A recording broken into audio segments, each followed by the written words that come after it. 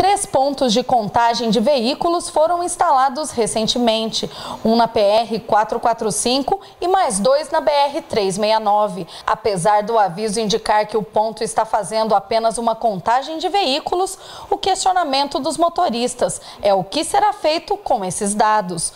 No próximo ano, a licitação das concessionárias precisa ser refeito. Diante dos pontos, a preocupação dos motoristas é que seja instalada uma nova praça de pedágio. Segundo o vereador João Mardigo, o governo do estado divulgou cinco novos pedágios para o próximo ano, dois deles aqui na região norte paranaense. Nós estamos aí prestes a fazer a renovação dos contratos. Essas empresas não vão poder mais a ser, fazer a renovação e sim a licitação, vai ser uma nova empresa. Mas por que, que eles estão contando isso? Hoje existe um projeto a nível de governo estadual aonde vai ser criada mais cinco praças de pedágio. E uma dessas praças de pedágio vai ser aqui na PR 170, que liga Rolândia a Porecatu. Vai ter uma praça de pedágio aqui, a mais próxima nova. E as outras vai ser espalhadas aí é, por toda a região. Então a gente fica preocupado porque vai vir aí mais uma bomba para as pessoas, para quem tem motorista e que utiliza as rodovias aqui do Paraná.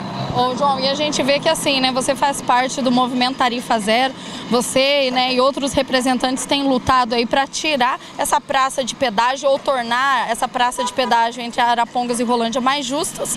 Enquanto isso, o governo do estado está trazendo mais praças para cá. Como que é? Como você se sente sabendo que está lutando por uma causa e sendo que outras praças estão vindo? É, infelizmente, parece que são poucas andorinhas lutando contra uma coletividade maior. Infelizmente, aí o poder é, hoje emanado para nós é pouco, mas nós vamos continuar essa briga, principalmente aqui na Praça de Arapongas, que nessa próxima renovação nós queremos e vamos lutar para que o morador de Rolândia não volte a pagar esse pedágio que para ir até a cidade de Arapongas ou para frente. Ô João, o que, que a população pode fazer, né, diante dessa iniciativa do governo de colocar mais cinco praças de pedágio? De que forma a população pode manifestar, né, essa insatisfação com o governo do estado? É, hoje através das redes sociais é, falando da indignação disso, que só dessa forma vai chegar para os governantes maiores e eles vão ver que estão prejudicando as classes menos favorecidas.